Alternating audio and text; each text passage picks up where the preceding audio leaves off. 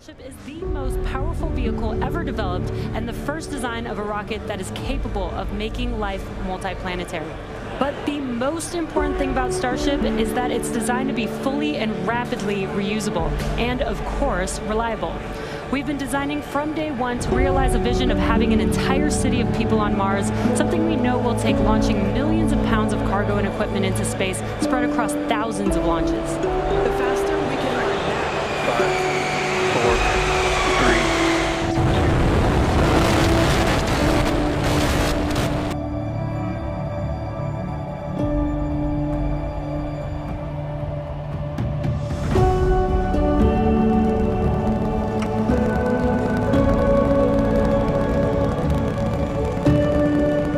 Ship ignition.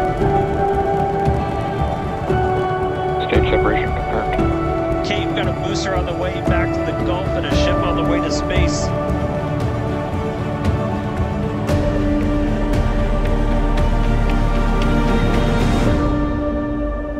And you can see those grid fins on your left-hand screen rotating and turning to guide the booster. And there's that landing zone.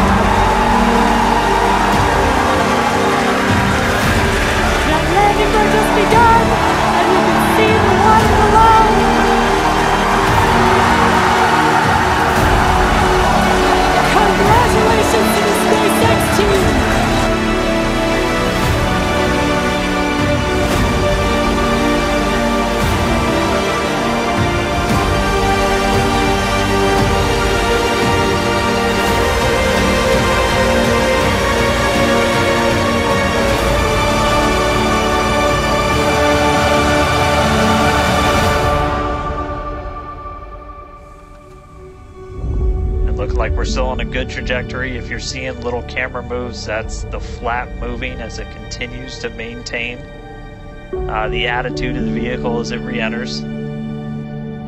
We're going to start getting to, to transonic pretty soon, and then after that we'll get into subsonic, where we're we're moving less than the speed of sound. But wow, what a light show so far! Yeah, it does appear that we have a little bit of burn through there. We can see pieces of the vehicle flying off. What a show it has been. It's been like watching Interstellar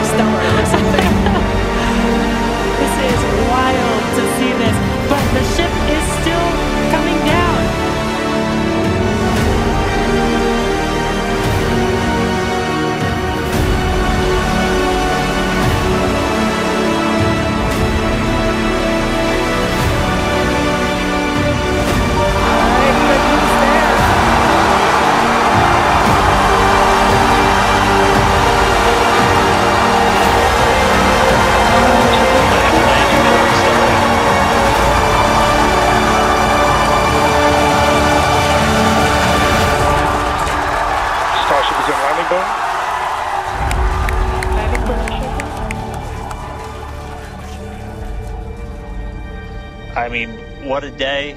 Successful super heavy ascent, boost back, and its own splashdown in the Gulf.